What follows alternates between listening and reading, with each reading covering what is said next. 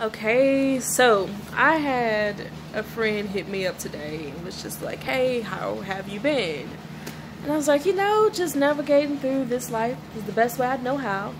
Um, you know, there are twists, there are turns, there are circles, you know, ups, downs, all the things. Um, yet, God has not made a single mistake. That's what I said. Glory to God. Glory to God. And I don't know what it was precisely that brought me back to the scripture earlier today, this afternoon.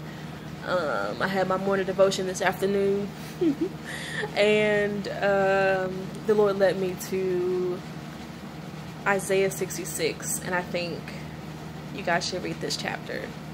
Uh, it is the sound of freedom, breakthrough, deliverance, vindication, victory, blessings, harvest, overflow, all the things. It's right there in the scripture. It's right there.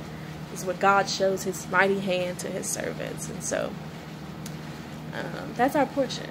Amen. And so uh, I don't know what it was precisely that brought me back to this. Um, but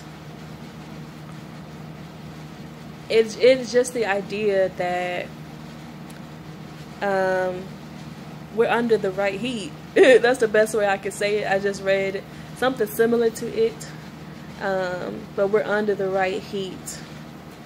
Um, just know, be encouraged that you're under the right heat. Um, that's the best way I can put that because God is producing something.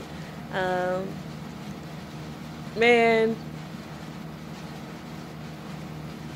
just keep getting stronger, keep getting wiser uh, be intentional about that. Goes along with my last post about there's always revelation after suffering. Cherish that revelation. That's all I got tonight. May this word be blessed. In Jesus' name. Love you guys. Good night.